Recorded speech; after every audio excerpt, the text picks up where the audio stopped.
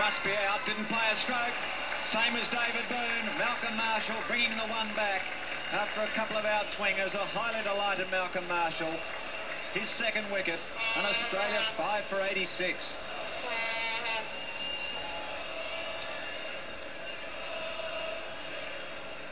So Steve Waugh on his way for four. And the Australians in all sorts of bother. Big crowd, bright sunshine. And this is a pretty good piece of bowling. Steve Waugh's been on the back foot for a long time.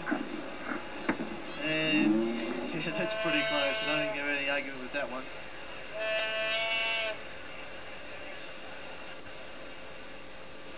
Marshall off the short run, chopping and changing.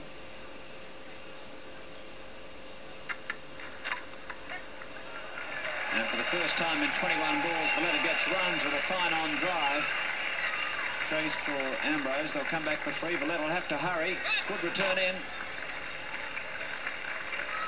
Well done, Veletta. He did hesitate for a moment. I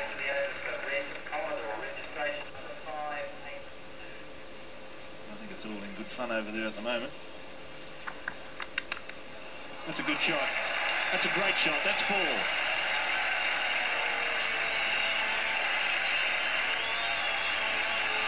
That brings up the Australian 100. And three figures always looks a bit better on the board. And that was a great shot. He's taken the odds to that, and that's a good lofted drive for four. Good shot out towards the crowd in front of the Sir Gordon Chalk building. Five for 107 and Veletta moves to 30.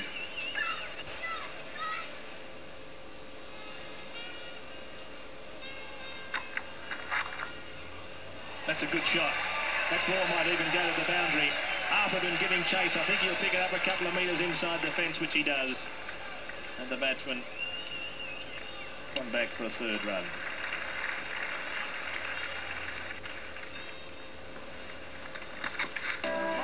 He's bowling. Trying to sweep. And Mike Veletta is out bowled. Trying to sweep that away, and it looks as if he's got the bottom edge and played it on. And Carl Hooper has picked up a wicket. And Veletta is out for 35 or 37. And that is a blow for Australia just before the tea interval.